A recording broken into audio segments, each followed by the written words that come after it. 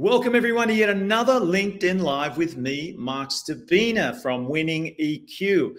I help organizations improve their results through improving the emotional intelligence of its people. It's another way of saying I'm a leadership coach. Speaking of emotional intelligence, we have an expert in emotional intelligence about to join us right now. He's a mentor of mine uh, a man who has taught me so much about leadership and the business of leadership coaching. He's one of the best out there. He's coming in from the UK as well. So, very lucky to have him give us his time at this hour of the day over in London. And I'm really excited to bring him in. We're going to talk about emotional intelligence and break it down as it pertains to behavioral styles and personality styles. I'll let him tell you more about that. Mark Francis will join us. He is a leadership coach, as I mentioned. He's a, a wine connoisseur as well. He's a dolphin trainer. Let me just leave it there. Dolphin trainer. Let's uh, bring him in and tell us what that means exactly. Welcome to the stage, Mark Francis, all the way from London. Welcome, Mark. How are you, my friend? Yeah, I'm in top top form, Mark. It's great to see you. Thanks for inviting me. It's a real pleasure to be here. You're always in top form. When are you not in top form, and how do you do it? Can't remember. uh, speaking of personality, dolphin trainer. I yeah. said it. You have it on your bio. Uh, I loved your description and the story that comes with that. Tell us more about you being a dolphin trainer. Yeah, it's a passion of mine, and it's not about dolphins. It's about their mentality, their their extraordinary EQ, winning EQ that dolphins have, and it's an analogy or metaphor, if you like, that just says, can we as human beings, as leaders, can we educate others in a way that transmits EQ, not just IQ?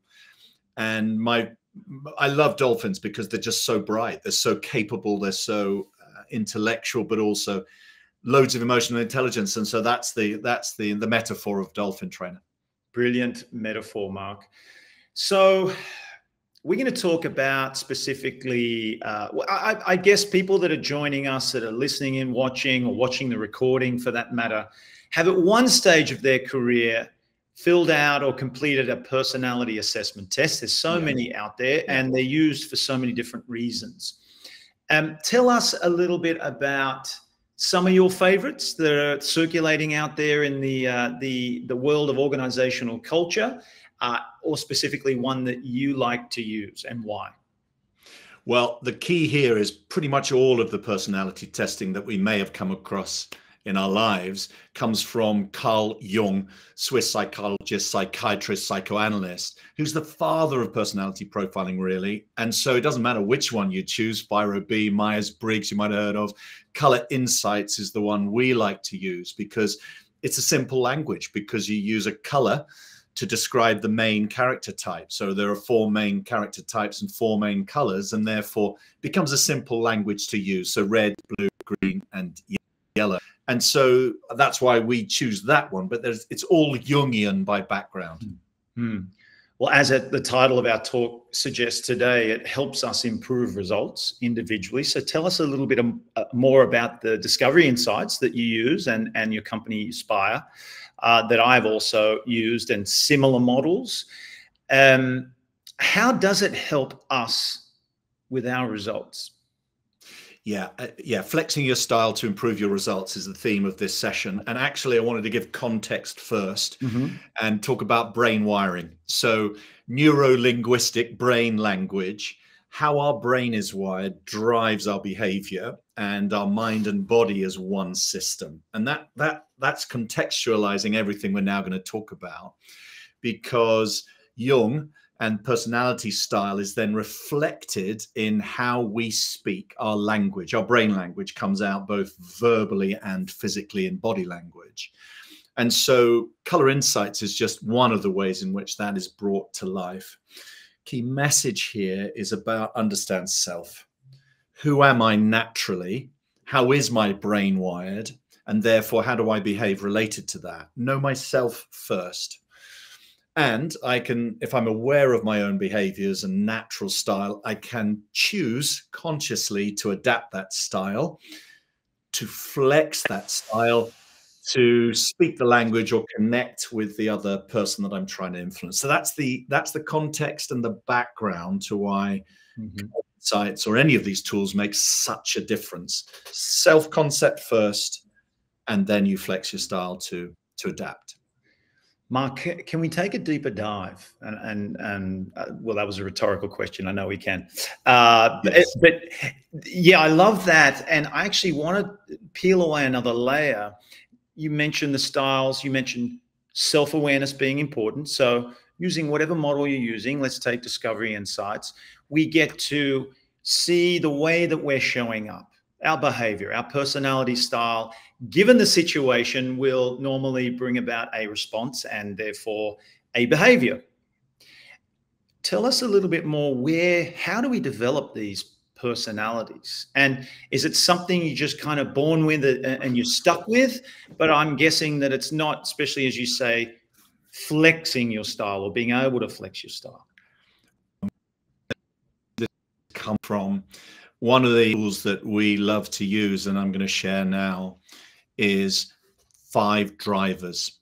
Mm. Drivers of personality. You talked about are you born with this? And it is a it is a balance of nature and nurture, but there's a significant amount which is nature. Mm. And the drivers, which I've just highlighted here, Kahler's five drivers, K A H L E R, Kahler, an American psychologist. Kahler's five drivers, these are magical. I've, I've, I've underlined the two that actually reflect my natural character. I'm a try harder, hurry up kind of guy. So, and this does connect rather rather neatly with the color energies, which we'll talk about more in a moment. So, try harder and hurry up, but there are three other key drivers of behavior, and actually, that is what drives my behavior. So, when you and I had that um, interesting conversation in 2020, when then the pandemic hit the world, we both launched a, a, um, um, a, session online or a series of of podcasts to help people. Right? I mean, it's as simple as that. Winning EQ had a brilliant podcast which I listened to, and and the ones we did was called Boost. That's right. One of the one of the elements that I was triggered by when you and I had a conversation was my behavior was totally connected to this under stress you know, COVID should have said, just relax a bit. You don't have to leave the house, in fact, if you don't need to or want to.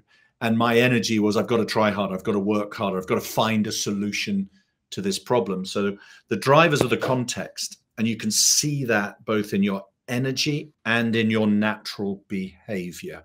So I walk fast. When I get off a plane, I am in competition with everyone else to reach customs first. Mm. And that is a hurry up driver. Right. It also reflects a natural red energy, competitive task orientation, time bound. Mm. Oh, I could talk about this all day. Mark, self awareness, very important for our individual results. Yeah. No doubt, then it's also important to be able to identify the styles of others because we're, oh, yeah. we're working with people every day. We're in interaction, we're building relationships, we're collaborating, we're in teams. So tell us a little bit more about the importance and how we can use the styles not just for our own results, but for connection and influence with others. I'm going to, as I speak, I'm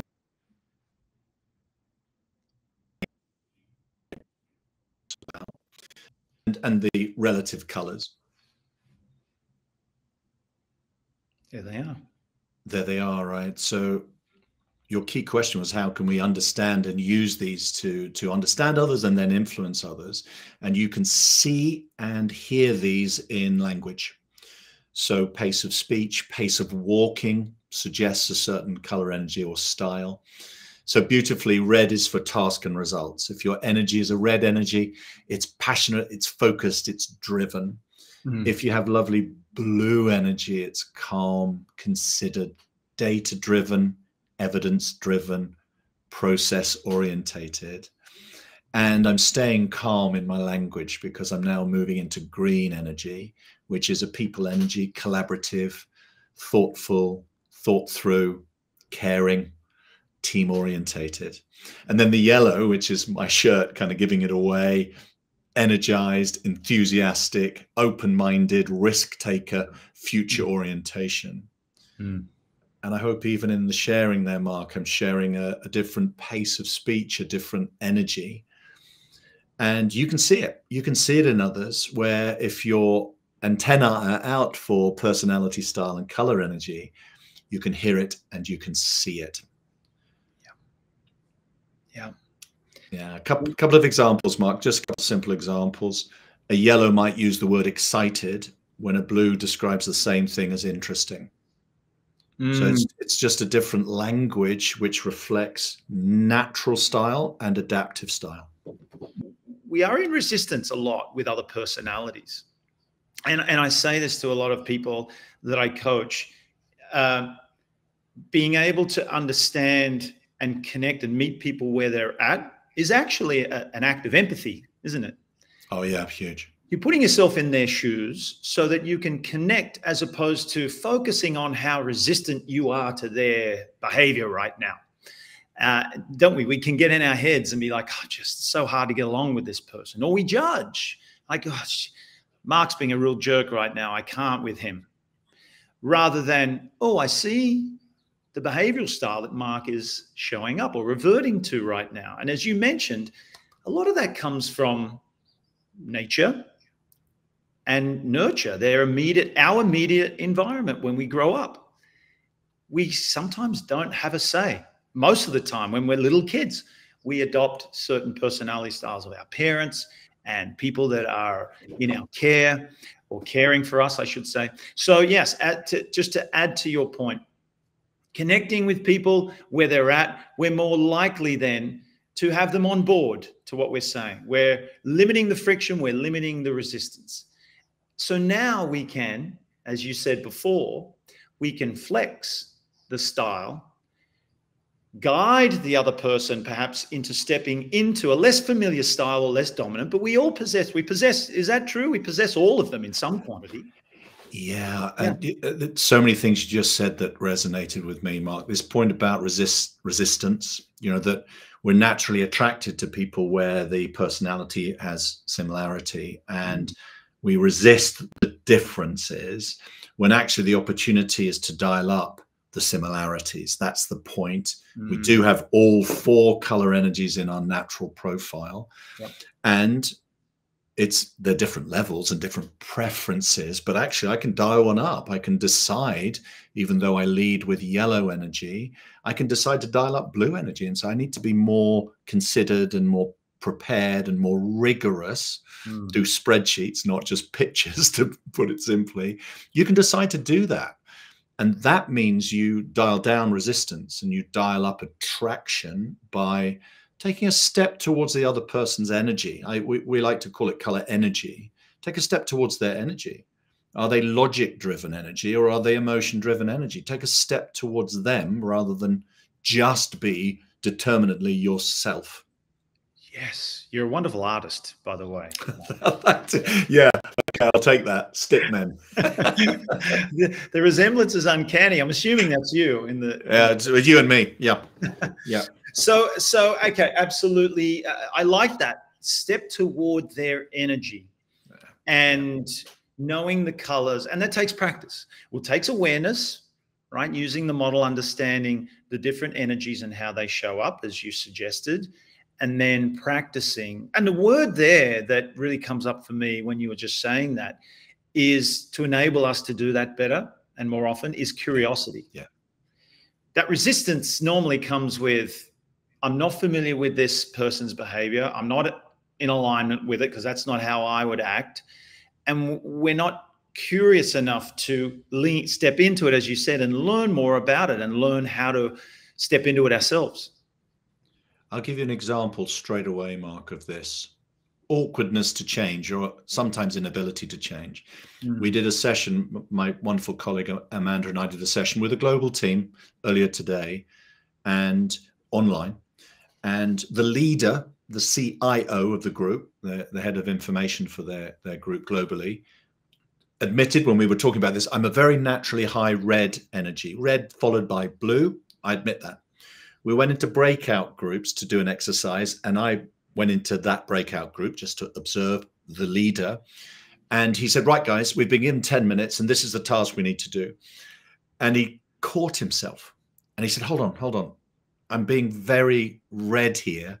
And we don't all know each other because this is a breakout group that was thrown together. We should start by introducing each other. Let me first of all say, My name is James. And then mm. he shared a little bit about himself. So he caught himself being task only and task first, which is a red blue energy, and thought, no, that's not appropriate when you don't know the people in the room, even though it's his natural style.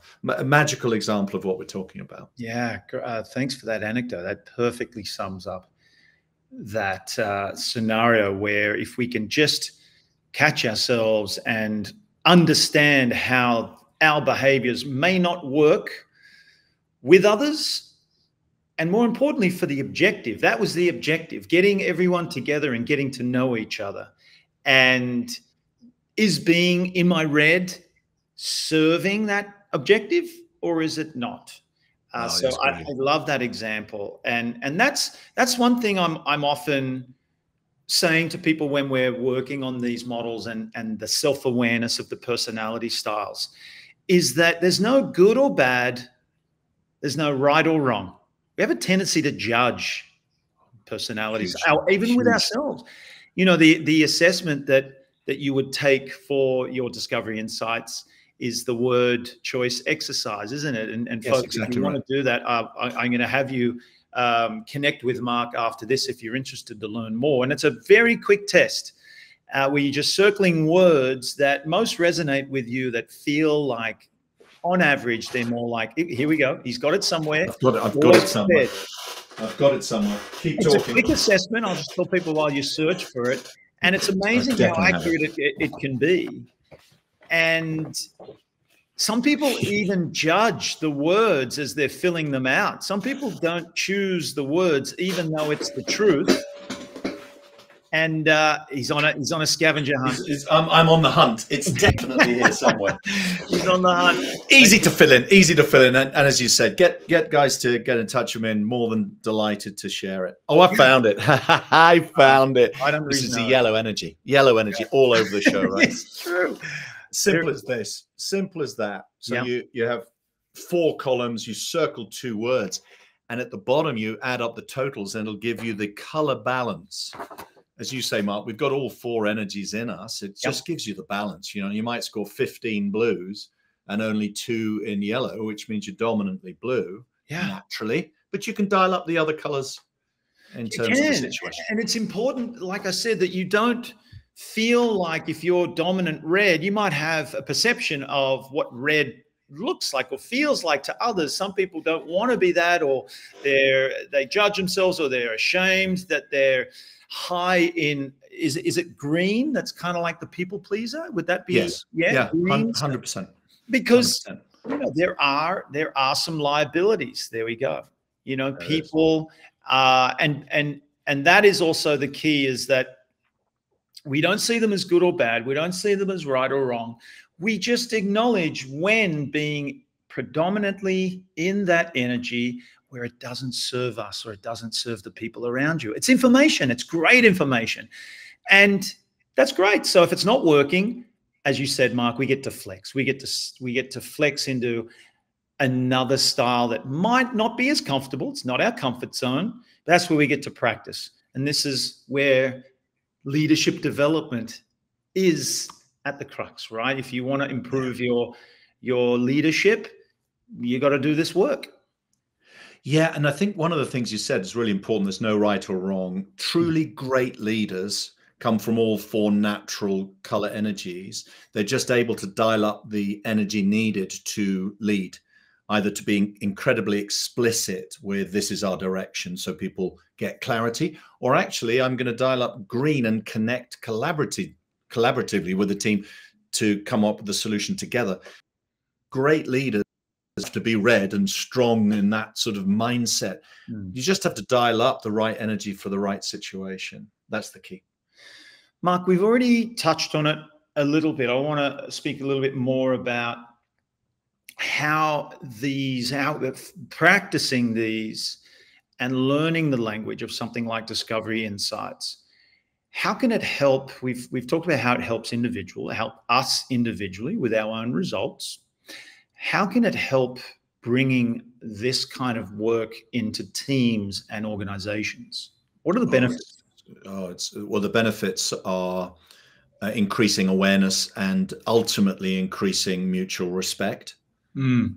So I'm, I'm, working with a professional football team at the moment. Uh, that's English football, um, professional football team, and our results aren't good at the moment. Mm. One of the things we've, we've done a, a, a, color assessment, so all of the players know each other's color energies. And as it happens, the team leads very strongly with blue and green energy. So it's highly reflective, highly thoughtful. Under stress, everyone goes quiet with blue and green energy, which is a reflective energy, stress creates internalization. It's like I need to think deeply, but I certainly won't express. You know, as a, a professional athlete, that actually there are times in a team when you need to be rabble rousers and get everyone g'd up to to achieve amazing things. But when the team is naturally reflective and quiet, that's not easy to do. So my role is to discuss that with the team and say, okay, who who who can bring a, a more yellow red expressive energy to help the rest of us? It's a great discussion with professional athletes. Mm. Oh, and as you're saying that, obviously, I it's crucial the coaches of these teams are intimately aware of of the differences and and that's the challenge. And I think great coaches are able to speak to their players individually in different ways. So it lands for that personality. But then when everyone's together and you've got all these different personalities together, how can you have it land for everybody? Uh, it's when, when I see coaches, the great coaches of the world through this lens, it's really impressive that that they're able to use this kind of model effectively, isn't it? And it takes practice. Oh yeah. Well, you, you know, interesting. The, the truly great coaches, and you've you know you have been a professional athlete with a number of of mm-hmm. examples of great coaches. For me, the truly great ones don't even need to have this model. You instinctively mm. get it, right. You feel it because you you have that innate EQ, which is one of your great strengths in terms of bringing that out of us. And therefore, they don't. You don't even have to have the model; they kind of live it anyway. Mm-hmm. I think where this is useful is it's about awareness. It heightens awareness mm-hmm. and that glorious aha moment. Now I understand. Mm-hmm. I adopted this energy uh, to an individual for whom it was the opposite of what I should have done mm. connect in their language. This is back to the point I made about brain language. How our brain is wired is fundamentally different to anyone else. So understand the wiring and adapt your style. That's the key. I want to come back to what you're saying about these great leaders and great coaches that innately they have it. They don't really use the model. It's just, it's built in. I, I suspect it's also because they are so connected and grounded in the objective, and that is to get this team firing. And I also believe that self awareness wise, they are able to regulate their own emotions. Because how many coaches, if we want to talk about emotional intelligence, self regulation is, is one of the, the drivers, you know, one of the, the important categories or factors that make up emotional intelligence. And if you can't regulate your own emotions, to suit again to suit the objective that's at hand and that's getting your message across perhaps to a player or a group of players then you've already lost and you're going to be ineffective when it comes to your communication and influence if you can put aside or regulate your own emotion to be able to focus on what's important i might be really upset right now and beside myself and under pressure and i'm about to lose my shit but that's not going to help if that comes across to my team. Oh, You're so and, good at that too, Mark. I got to say. Uh, well, th- thank you. But the opposite is true as well. I, I, I work with a, a, brilliant Swedish coach um, called Mika Stara, who's won various championships in Sweden. He's been all over the world. He's worked in China, the US, um, in Greece, and Mika is quite considered. He's he leads with blue energy, blue and red energy, and so he's very calm by nature, and he and I speak about this. There are times when he shouldn't be calm. Yes. You know that yes, sometimes you need to be in considered and and other times you need to show passion. And that's one of the things that we talk about all the time is is is change to the situation rather than just this is my style, take it or leave it. Mm. That's not great leadership. It's not. And as you're saying, that one of the biggest challenges, because I totally agree with you, is doing exactly what you said, changing it up, flexing while doing it authentically. oh, isn't that yeah. the challenge? Like, uh, yeah, good luck with that. right. Where it's like, if, if it's, you, you, sometimes it can, it can really look manufactured and people see straight through it as well. So, look, we're, we're here to tell you leadership's not easy, folks. Uh, we wish it was, it was, and everyone would be great leaders if that was the case. But I think fortunately for us that that's not the case. But we all get to practice and try being the best leaders we can be. And this topic today, behavioral styles, we could go on about it, couldn't we, Mark? Look at that, 27 minutes. This is what happens when you and I get together. It feels like five minutes. Um, well, I'm gonna I'm gonna wrap it up because people are getting into their workday. Thank you for everyone that's been popping in and popping out. Thank you so much to Mark Francis. How do we find you, Mark? How do we connect with you? I think the best is probably email, isn't it? It just is. Oh, I mean, it can be ultimately WhatsApp and things like that, but I would suggest email mark at the com. The Uspire Partnership's probably even a better email just to land the word partnership. So mark at the com. And I've just put up a little QR code, which is the website for the Uspire Group. Tell us about your other company as well, if we want to we want to find you there. Yeah, I, I, have a company called Augmenta, A U G M E N T. If you go www.augmenta.eu, you'll come across a website where I talk about different countries and cultures mm. and how you influence in different countries. Lots of little videos. So by all means, go on my personal website as well. Thanks so much for that, Mark.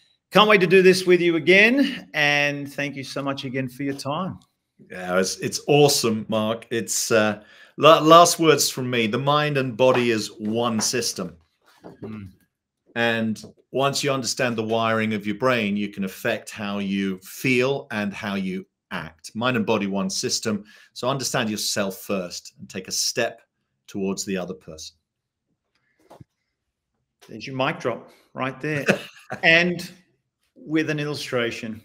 You're the best, Mark. yeah, walking fingers. and walking fingers. That's the yellow energy, folks. There it is. There it is. You witnessed it. there it is. All right, we're going to let you go. Thanks so much, my man. See you again. Huge soon. pleasure. Cheers, Mark. Mark Frank, I mean it. Every time we get together and have these leadership discussions, five uh, five minutes, well, feels like five minutes. It's actually thirty to an hour. So uh, we were so lucky to have Mark all the way from the UK. He is an expert in the behavioral styles, in leadership, in sales, negotiations, you name it. Look him up. Uh, if you're looking for a coach that specializes in that, look him up, hire him bring him and his team in. They're wonderful. They're fantastic. All right, everyone, get back into your workday. Thanks again for joining me, and I'll see you next week.